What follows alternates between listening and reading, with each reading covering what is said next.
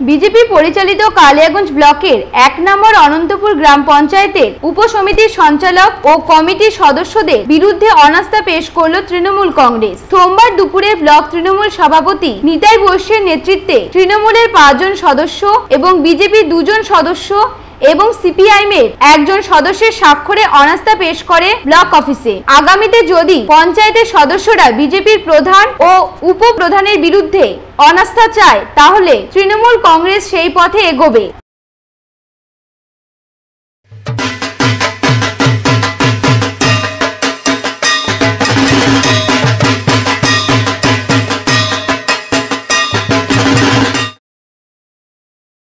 আজকে কালিয়াগঞ্জ ব্লকের এক নং অনন্তপুর গ্রাম পঞ্চায়েতের বিজেপি পরিচালিত যে বোর্ড ছিল, সেই বোর্ডের উপসমিতিগুলোর যে সঞ্চালক এবং উপসমিতিগুলোর যে কমিটি, সেই কমিটির সদস্যদের বিরুদ্ধে আজকে সংখ্যাগরিষ্ঠ সদস্য অনাস্থা প্রকাশ করল।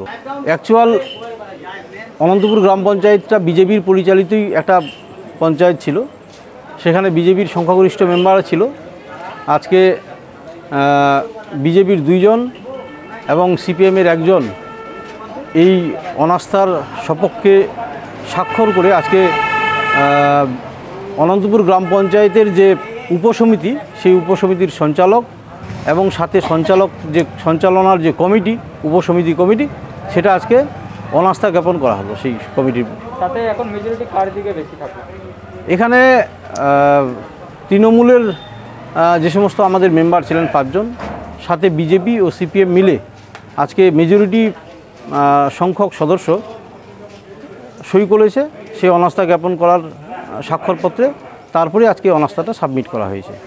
আগামী দিন আমরা পঞ্চায়েত যদি কোনো মেম্বার আমাদের দিকে আসার সহমতি জানায়, তাহলে অবশ্যই আমরা পঞ্চায়েতের যে প্রধান উপপ্রধান, সেগুলো অনাস্থার দিকে এগোবো। অনুপ জয়সালের রিপোর্ট, কুলিক নিউজ, কালিয়াগঞ্জ।